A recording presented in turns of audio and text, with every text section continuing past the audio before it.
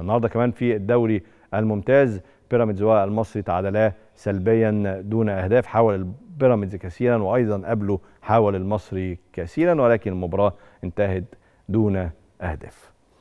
النهارده مجلس إدارة النادي الإسماعيلي بشكل رسمي وجه الشكر للكابتن أحمد حسام ميدو المدير الفني للفريق بسبب النتائج السلبية للفريق في الفترة الأخيرة في نفس الإطار مجلس إدارة النادي الإسماعيلي قرر خصم 10% من عقود اللاعبين اللي شاركوا في مباراة المحلة اللي انتهت بالتعادل بهدف لكل فريق.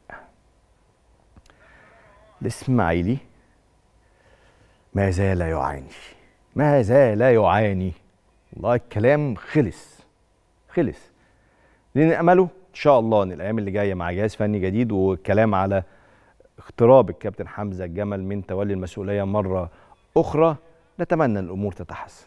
كلام دلوقتي بصراحة كلام يتعب ويضايق ويجرح جماهير النادي الإسماعيلي لأن هم مش ناقصين.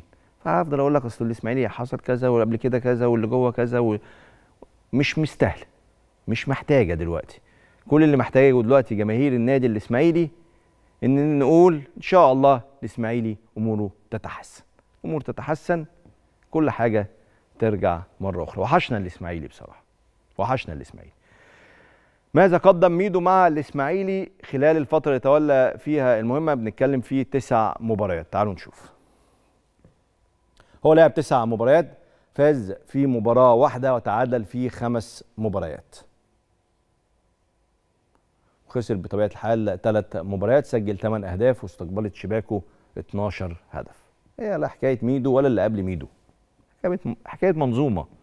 كانت متلخبطة كتير الفترة اللي جاية نأمل إن المجلس اللي موجود حاليا في الإسماعيلي يلم أوراقه بسرعة عشان الإسماعيلي ما يروحش في سكة محدش يتمناها.